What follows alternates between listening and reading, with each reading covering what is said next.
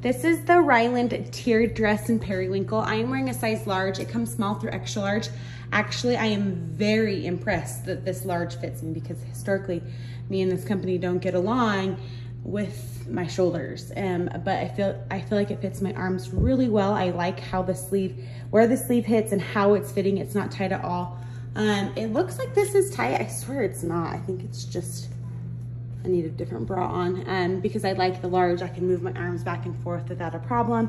It has pockets, comes lined, and is hitting me as a true midi.